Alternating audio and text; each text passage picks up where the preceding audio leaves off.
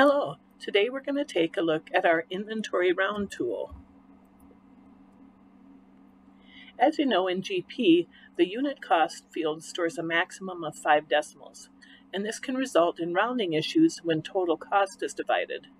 What inventory round does is to help with this um, to distribute the same actual cost per item per inventory layer.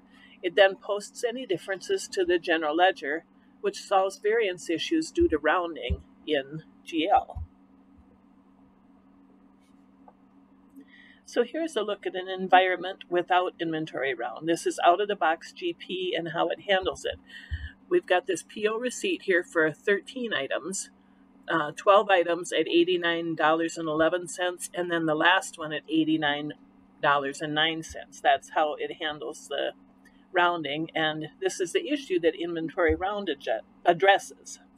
Now I'm in an environment with inventory round. I've got a PO receipt set up the same way as that one we just looked at, and I'm going to go ahead and post this. Oops, after I remove my batch. And we'll just cancel to these reports. and then I'm going to hop over to inventory receipts and we'll bring up that same item number. Uh, and say it north.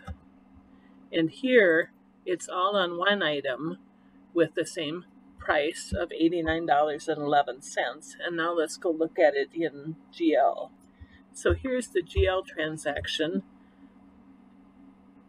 And uh, if we scroll down here, we've got our two cents of rounding here.